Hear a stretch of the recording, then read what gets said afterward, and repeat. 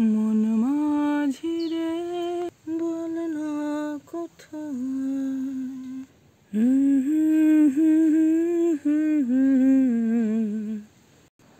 মনের গহীনে আছে যে মানুষটি সে মানুষটি কি বলতে চায়? হতে পারে আপনার সাথে যোগাযোগ আজকে নেই তবু রয়ে গেছে রেশ। কিছু একটা শেষ হয়েও এখনও শেষ হয়নি। সেই মানুষটি কি বলতে চায়? কিছুদিন পরেই আশ্বিন প্রাক মুহূর্ত, আগমনীর সুরে সেজে উঠবে সারা সারা সমস্ত সমস্ত জগৎ। দেখে নেব আজকে সেই মানুষটি কেমন আছে। মুহূর্তের ডাকে আমি Sangeeta your spiritual guide your holistic mentor your life coach warm welcome everybody thanks for your generosity your kind war your love and support I just love you guys with huge respect and dignity my future fight gang every moment is precious like you are I just love you guys চলুন দেখে নেব। ছোট্ট একটি reading general reading collective reading take what resonate leave the rest for someone else and others because general reading কখনোই কারোর সাথে পুরোপুরি resonate করে না। তাই যতটুকুনি রেজনেট করে, ততটুকুনি নেবেন। সেই মানুষটি কেমন আছে? বা তিনি কি বলতে চান? যাদের সাথে অনেক দিন আপনাদের যোগাযোগ নেই। মনের গহীনে থাকা সেই মানুষটি কিছু তো বলতে চান, কিছু তো ভাবছেন, বা কি অবস্থায় আছেন? অনেকেই প্রশ্ন করে, দিদি, মানুষটি কেমন আছে? একটু জানতে চাই শুধু। যেখানেই থাকুক, যার সাথেই থাকুক, ভালো থাকুক। এই যে উদারতা! এই যে বদান্যতা আমার প্রত্যেকটি মুহূর্তের ডাকের যোদ্ধাকে আমার কুর্নিশ। আজকে যাদের জন্মদিন, তাদেরকে বলব হ্যাপি বার্থডে আজকে তেরোই সেপ্টেম্বর, কালকে অমাবস্যা শুরু হচ্ছে, কৌশিকী অমাবস্যা। অমাবস্যা দুদিন পড়েছে। ডেফিনেটলি আমি রিডিং তো অবশ্যই আনব যে রিকোয়েস্টগুলো করা হয়েছে। চলুন দেখে নিই সেই মানুষটি কেমন আছেন। Hanged man some kind of awakening seven of swords defensive mode কোনো কিছু তিনি কন্টিনিউ ডিফেন্স করে যাচ্ছেন। And look at this king of wands প্রথমেই যে কার্ড সম্পর্কে বলব সেটা হচ্ছে হ্যাংম্যান কার্ড এটা হচ্ছে ওয়াটার এলিমেন্ট ঠিক আছে? আই থিঙ্ক এটা হচ্ছে রুলিং প্ল্যানেট হচ্ছে নেপচুন। কোনো রকম কসমিক অর্ডার বলতে পারি স্পিরিচুয়াল গ্রোথ বলতে পারি, ঠিক আছে? It's a prophecy or definition taking a pause letting go something kind of জিনিস তার ভেতরে কিন্তু জেগেছে। It's a spiritual gifted psychic ability বা এমন হতে পারে সে কোনো কিছুর জন্য ওয়েট করে আছে। ঠিক আছে? এবং অনেক কিছু নেসেসারি স্টেপ নিজের লাইফে নিচ্ছে। মেটেরিয়ালস্টিক থিংস থেকে সে নিজের ডিজায়ারকে কোনো না কোনো রকমভাবে কাট করছে এবং এগোচ্ছে। তবে ফ্রাস্ট্রেশন আছে সেই মানুষের ভেতরে ডেফিনেটলি কোনো রকম স্যাক্রিফাইস ফর হাইয়ার কজ সেটাও রয়েছে। ল্যাক অফ ইন্টারেস্ট ইন যেটা হয়, একটা জাগতিক বিচ্ছিন্নতা। হ্যাঁ জি, আমরা যে জগতে বাস করি সেই জগতের যে মূল বস্তু, সেই মূল বস্তু হচ্ছে মোহ। সেই মানুষটির কিন্তু কোনো কারণে মোহ মুক্তি ঘটেছে। তিনি আপনার সাথে জুড়েও থাকতে পারেন, এটা নো কন্ট্যাক্ট সিচুয়েশনের সাথেও ম্যাচ করবে। অথবা আপনাদের মনে যে মানুষটি রয়েছে, সেই মানুষটির সাথে যদি রিলেট করে ডেফিনেটলি বলব, একটা লাইক করবেন। তারপরে যে কার্ডটা রয়েছে, সেটা হচ্ছে সেভেন অফ ওয়ান্স কার্ড ঠিক আছে? ওয়ান্স মানে আপনারা জানেন ফায়ার এনার্জি ঠিক আছে? সেভেন অফ ওয়ান্স কার্ড এখানে এসেছে। এটা এটা হচ্ছে লিও ইন মার্স এনার্জি এটা কোনো না কোনো রকমভাবে একটা ডিফেন্সিভ মোড তৈরি করেছে। সেভেন অফ ওয়ান্স যখনই আসে একটা মাল্টিটাস্কিং কনফিউশন একটা চলে কিন্তু, ঠিক আছে? অবশ্যই এটা ফায়ার সাইন প্রোটেকশন ঠিক আছে?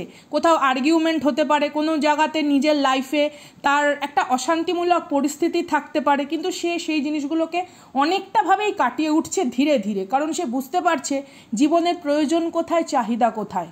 স্বতন্ত্রতা এবং স্বাভাবিকতা যে মূল্যবোধ, সেই মূল্যবোধ কিন্তু তার ভেতরে ধীরে ধীরে জাগৃত হচ্ছে এবং তার জন্যই তার ডিফেন্স টাইপের মোডে আসা। তারপরে যে কার্ডটি এসে সেটা হচ্ছে কিং অফ ওয়ান্স ঠিক আছে কোনো রকম বিজনেস মাইন্ডেড পিপল হতে পারে এখানে কোনো রকম অথরাইজড কোনো লেভেলে থাকতে পারে। কিন্তু যেই জিনিসটা এখানে সব থেকে বড় যেটা আমি পাচ্ছি ডিফেন্সে জব করে। এরকম কোনো আর কি মানে এনার্জিটা এখানে বেশি। ভিশনারি দূরদর্শিতা বর্তমান। ঠিক আছে, কোনো মিলিটারি ম্যান হতে পারে, বা অ্যাটলিস্ট সে কোনো রকম অ্যাডমিনিস্ট্রেশনের সঙ্গে কোনো কাজে যুক্ত থাকতে পারে, অথবা সে এখন হয়তো সেই কাজে যুক্ত বা যুক্ত হয়েছে। ঠিক আছে? এরকম এনার্জি কিন্তু কোথাও যেন একটা মানে একটা অবসাদ, মানসিক অবসাদ কিন্তু তার ভেতরে রয়েছে। একটা বিচ্ছিন্ন ভাব আমি আগেই বলছি, সেই ধরনের এনার্জিতে কিন্তু উনি অলরেডি পপ আউট করে গেছেন। দেখে নেব নেক্সট ডেক থেকে হ্যাং হ্যাংব্যাং এখানে কেন এসেছে। আপনারা কার্ড দেখা গেছে কিনা আমাকে একটু কাইন্ডলি জানাবেন। অনেকেই বড় ভিডিওর জন্য রিকোয়েস্ট করছে ডেফিনেটলি আমি আসব। ডেফিনেটলি আসব। আপনাদের কাছে আসব না তো কোথায় যাব? টেন অফ ওয়ান স্যাংম্যান্ডের জন্য এসছে। অ্যান্ড সেভেন অফ ওয়ান্সের জন্য yeah world card wow new phase in life wow good energy good energy and three of pentacles yeah again it's a ten of wands লিওয়েরি Sagittarius এখানে ভীষণভাবে heavy আর দুটো major arcana card এসছে world card এসছে, আর হচ্ছে হ্যাংম্যান card এসছে। টরাস ভার্গো ক্যাপ্রিকনের এনার্জিও রয়েছে এখানে, যেহেতু থ্রি অফ পেন্টাকলস এসছে। তো প্রথমেই দেখব ten of wands Sagittarius in Saturn energy ঠিক আছে? টেন অফ ওয়ান্সের ক্ষেত্রে বলতে পারি। এখানে লং টার্ম কোনো কমিটমেন্ট বা গুড আন্ডারস্ট্যান্ডিং সেই মানুষটির চায়। কিন্তু সিচুয়েশন কিন্তু তাকে বলছে যে তাকে স্ট্রাগল করতে হবে এবং সাকসেসটা সে তখনই পাবে যখন সে প্রবলেমকে ওভারকাম করবে। It's like go through darken কোনো কেভ তার ভেতর দিয়ে যাওয়ার পর শেষে, পথপ্রান্তের শেষে হচ্ছে উজ্জ্বল আলো। এই রকম একটা সিচুয়েশনের ভেতর থেকে কিন্তু তিনি যাচ্ছেন বা তিনি অলরেডি সেটা রিয়েলাইজ করেছেন যে কীভাবে তাকে সিচুয়েশন ওয়াইজ লাইফে চলতে হবে। তারপরে যে কার্ডটি এসছে, এই কার্ডটি আমার নিজের খুব personal favourite world card new phase বলে। ক্যাপ্রিকন স্যাটার্ন এনার্জি এখানে, ঠিক আছে?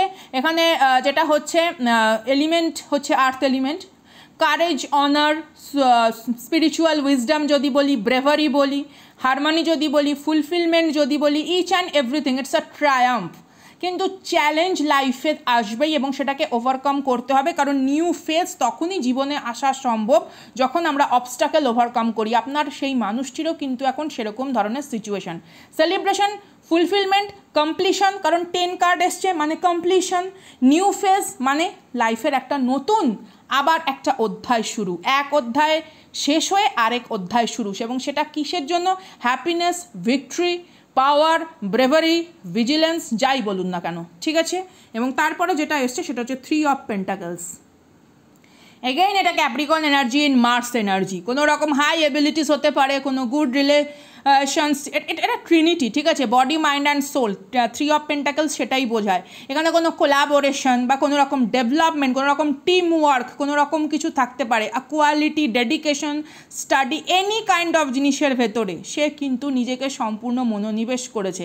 এখানে অবশ্যই একটা জিনিস যেটা হালকা রয়েছে, সেটা হচ্ছে কোনো রকমভাবে third person balance situation third person balance বলতে হতে পারে তার জীবনে থার্ড পার্সন তার নিজের চিন্তা, তার নিজের ফ্যামিলি অথবা তার কোনো কাউকে ভালো লাগা বা কোনো না কোনো রকমভাবে একটা অন্য কোনো রিলেশনে জড়িয়ে পড়া। ঠিক আছে? সেই সিচুয়েশনটাও কিন্তু রয়েছে। নেই যে না, আমি তা বলতে পারব না। কিন্তু তবুও মানুষটির ভেতরে কোথাও যেন আধ্যাত্মিক চেতনা জড় জাগতিক থেকে মুক্ত হয়ে একটা সুস্থ, স্বাভাবিক অগ্রগতি সম্পন্ন চেতনা, যেটা প্রফেশনাল প্রফেশনালিজম বলতে পারি ডেভেলপমেন্ট বলতে পারি কো ওয়ার্কার্স বলতে পারি ডিগনিট প্রফিটেবল চিন্তাধারা নিজের লাইফে সেটা কিন্তু তার অনেক এগিয়েছে।